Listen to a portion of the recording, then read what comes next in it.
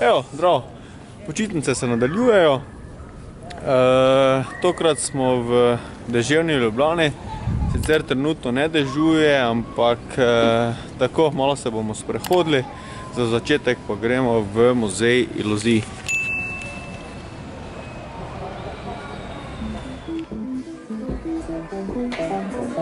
Pa nazaj.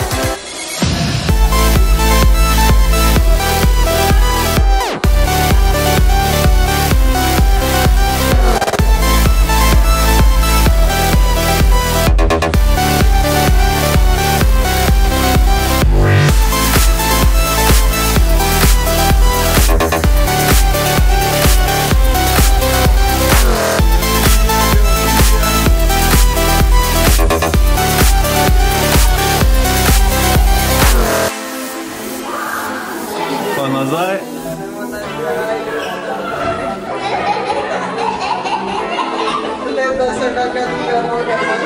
Le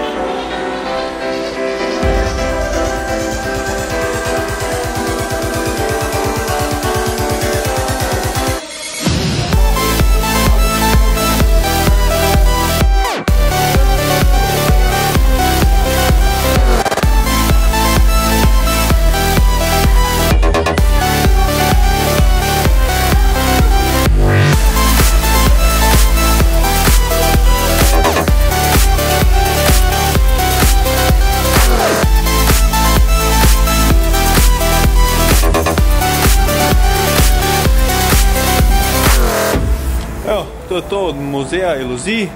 Zdaj pa je pred nami hiša eksperimentov.